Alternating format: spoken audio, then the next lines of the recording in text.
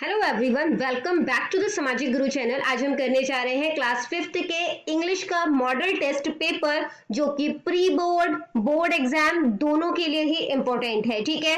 तो आइए पेपर जो है वो स्टार्ट करते हैं। सबसे पहले जो है वो हम देख लेते हैं कि हमारा पेपर जो है वो कितने मार्क्स का होने वाला है। तो बच्चों, हमारा पेपर जो है वो एटी मार्क्स का होगा और हमें टाइमिंग जो है वो तीन घंटे की दी जाएगी, ठीक है? तो टाइमिंग जो है वो तीन घंटे की दी जाएगी हमें, ठीक है? उसके बाद जो क्वेश्चन नंबर वन से ट्वेंटी तक है, ये मल्टीपल चॉइस क्वेश्चन है और इसमें चार चार ऑप्शन जो है वो दिए जाएँगे, ठीक है? सो सेक्शन ए जो है, उसमें क्या बोला हुआ है? आपको एक पैसेज दिया है कि Sonia a six year old girl was playing in the backyard of her house she was a beautiful she saw a beautiful butterfly. She tried to catch it but could not and was disappointed. She came to her mother. ठीक है? तो यहाँ पे जो है सोनिया एक छह साल की लड़की है, जो कि अपने घर के बैकयार्ड पे खेल रही थी। उसको एक बटरफ्लाई, सुंदर सी बटरफ्लाई दिखाई देती है। उसे पकड़ने की कोशिश करते पर पकड़ नहीं पाती और जिससे वो निराश हो जाती है। She came to her mother फिर वो अपनी माँ के पास आ जाती है, ठीक है? तो क्वेश्चन है वेयर वो सोनिया प्लेइंग तो सोनिया कहाँ खेल रही थी? इन द बैकयार्ड ठीक है? तो सी ऑप्शन करेक्ट है। What was Sonia trying to catch Sonia जो है वो क्या पकड़ने की कोशिश कर रही थी? तो सोनिया जो है वो बटरफ्लाई पकड़ने की कोशिश कर रही थी, ठीक है? Sonia was sad because Sonia जो है वो क्यों उदास थी? क्योंकि वो जो मतलब बटरफ्लाई उसको कैच नहीं कर पा रही थी, ठीक है? तो वो खेल रही थी, उससे तो उदास नहीं थी। She try to catch a butterfly तो उसके लिए भी उदास नहीं थी बट वो कैच नहीं कर पा रही थी, इसलिए उदास थी। तो सी ऑप्शन करेक्ट है, ठीक है? अगला क्वेश्चन है she try to catch it but could not तो यहाँ पर शी वर्ड जो है वो किसके लिए इस्तेमाल हुआ है? मदर सोनिया बटरफ्लाई या इन सब के लिए? तो सोनिया जो है वो नहीं पकड़ पा रही थी तो सोनिया के लिए वर्ड जो है वो इस्तेमाल किया गया है, ठीक है?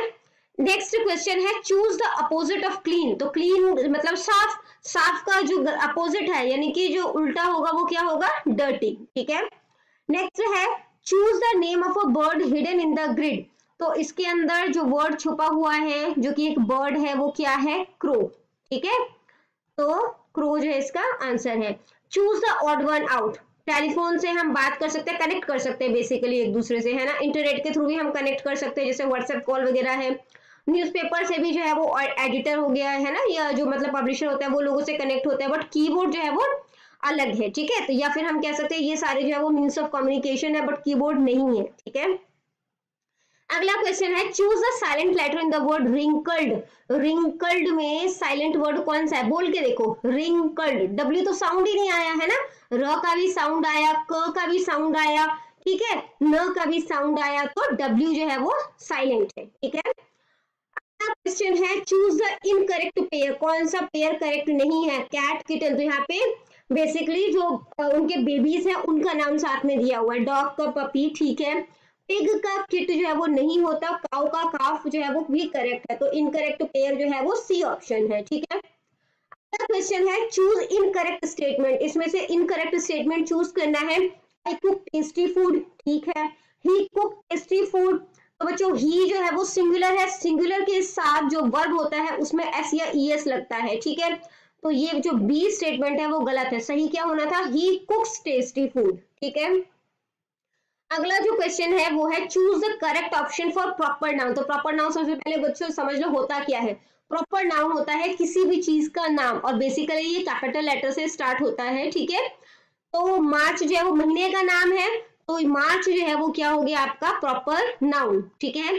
शू मेकर तो कोई भी हो सकता है वुमन भी कोई भी हो सकते हैं शॉप भी कोई भी हो सकता है, ठीक है? बट मार्च जो है, वो एक फिक्स मंथ है या किसी चीज़ का एक फिक्स नाम है, ठीक है?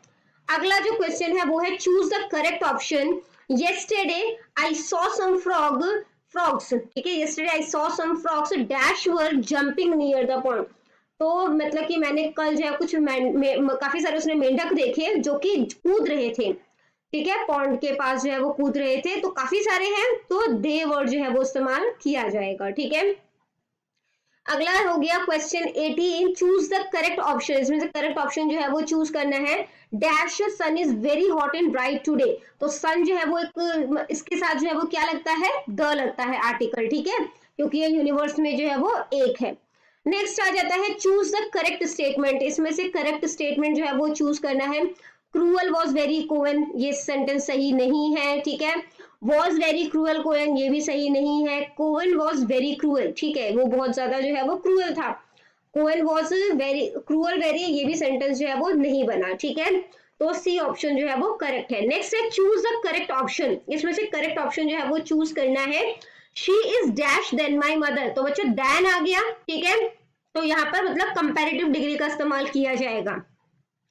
तो ओल्ड जो है वो पॉजिटिव डिग्री है ओल्डर जो है वो कंपेरेटिव है और ओल्डेस्ट जो है वो सुपरलेटिव डिग्री है। तो अगर द होता तो ओल्डेस्ट आ जाता बट यहाँ पर अभी बी ऑप्शन जो है वो करेक्ट है।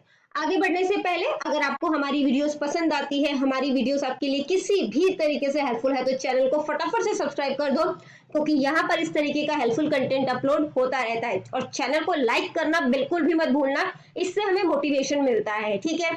तो सेक्शन डी जो है वो स्टार्ट करते हैं। इसमें आपको बोला गया है कि किसी भी चार क्वेश्चन के आंसर करने हैं। ढाई ढाई नंबर का एक क्वेश्चन है तो टोटल टेन नंबर का क्वेश्चन नंबर ट्वेंटी वन है। ठीक है? Which was not an ordinary year कौन सा साधारण साल नहीं था? ये क्वेश्चन जो है वो अक्लिप्स फ्रॉम हिस्ट्री से लिया गया है। तो 1857 का ईयर जो है वो साधारण साल जो है वो नहीं था। नेक्स्ट है who help the shoe maker shoe maker की हेल्प जो है वो किसने की? तो two little elves have the shoe maker तो दो जो छोटे इल्स थे, उन्होंने जो है वो शू मेकर की हेल्प की। नेक्स्ट क्वेश्चन है what is needed to open an account account खोलने के लिए किस चीज़ की ज़रूरत होती है? तो आइडेंटिटी प्रूफ जैसे कि आधार कार्ड और हमारा जो लेटेस्ट फोटोग्राफ है, उसकी ज़रूरत जो है वो हमें पड़ती है, ठीक है? अगला क्वेश्चन है who was incharge of the town town का इंचार्ज जो है वो कौन था? मिस्टर कोवन चाइल्ड एंड ग्रैंड चैप्टर से लिया गया है। हु आर अलाइक कौन जो थे वो एक जैसे थे। तो ग्रैंड मदर और चाइल्ड जो है दोनों एक जैसे थे, ठीक है? नेक्स्ट जो है वो क्वेश्चन आपसे पूछा गया है who like the tall building जो मतलब कि टॉल बिल्डिंग है, वो किसे पसंद थी? पाला को ठीक है? फिर इसके बाद जो है वो आपसे पूछा गया है कि फाइव बर्ड्स का नाम बताओ तो आपको जो भी बर्ड्स के नाम पता है, वो आप अपनी तरफ़ से लिख देना। हमने यहाँ पर फ़िलहाल जो बच्चों को जल्दी याद हो जाए, ऐसे कुछ जो है वो बर्ड्स लिए हैं crow dove owl kite and eagle इसके बाद जो है वो ढाई ढाई नंबर के जो है वो मतलब कि एक एक सेंटेंस होगा, दो सेंटेंस आपने लिखने हैं, यानी कि पिक्चर कंपोजिशन दी गई है बेसिकली ये पिक्चर दिया हुआ है आपको, ठीक है? तो इसमें जो है वो हमने जो है वो स्टेटमेंट जो है वो बनानी है। तो हमने लिखा था women is selling cloth for Christmas Christmas के लिए जो है ये कपड़े बेच रही है, ठीक है? और जो कपड़े हैं वो बहुत ही ज़्यादा कलरफुल है. The dresses are very colourful आप ये भी लिख सकते हो कि they are talking to each other वो एक दूसरे से बातें कर रहे हैं, ठीक है? तो नेक्स्ट जो क्वेश्चन है वो है फिलअप का आपको ऑप्शंस दिए गए हैं और माय फेवरेट गेम का ये आपको जो है वो कुछ लाइंस दी गई हैं, उसको आपने फिल करना है. I am very good at तो मैं किस चीज़ में जो है वो अच्छी हूँ तो मैंने लिख दिया गेम्स ठीक है? I am very good at games football is my dash game football is my favourite game ठीक है? तो यहाँ पे लिख देते हैं favourite game I play football with my मैं फुटबॉल किसके साथ खेलती हूँ? अपनी फ्रेंड्स के साथ. तो यहाँ पर हमने लिख दिया friends we are dash team members तो कितने टीम मेंबर्स हैं? We are eleven team members ठीक है? तो यहाँ पर हमने जो है वो इलेवन लिख दिया।